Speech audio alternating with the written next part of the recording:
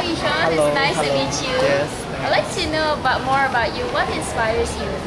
Okay, um, what inspires me? Um, I like looking at the works of uh, artists that I like. Uh, lot, there are a lot of artists that I admire.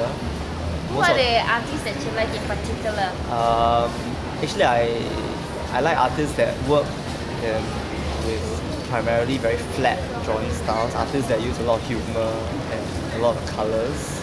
Uh, so I mean, right now I, I love uh, Maya Hayuk's work. She's a she's a muralist and painter uh, from the states. Uh, I also like Keiichi Tanaami, a Japanese um, artist.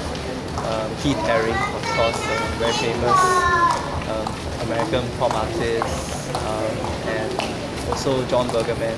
So, I heard that you recently organized your own solo exhibition Mhm. At Actually Actually Yeah, yeah. So what is it called and what was it about? Um, okay, that show um, it lasted for a month. Uh, it was called Anything Also Anyhow. Um, the title of the show came out from a conversation I had with a student uh, because we were talking about how art could be anything. You know, it could be just anything you wanted. Yeah, so it was a play on a Singlish phrase that we always use. You know, anything was anyhow.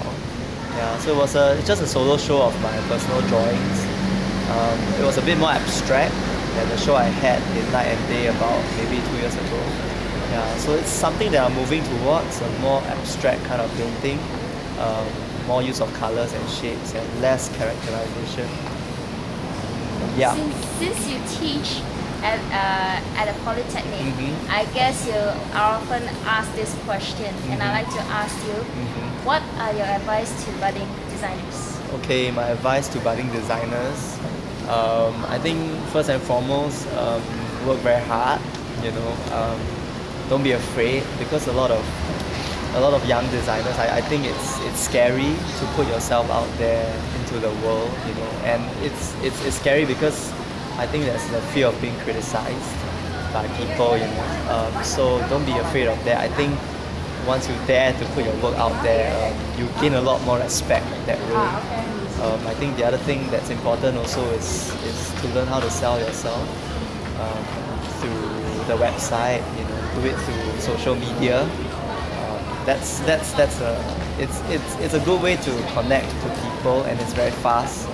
Yeah, I think it's good to use Twitter, blog about your work. Yeah, just put yourself out there and don't be afraid to meet people. Yeah, things will fall into place.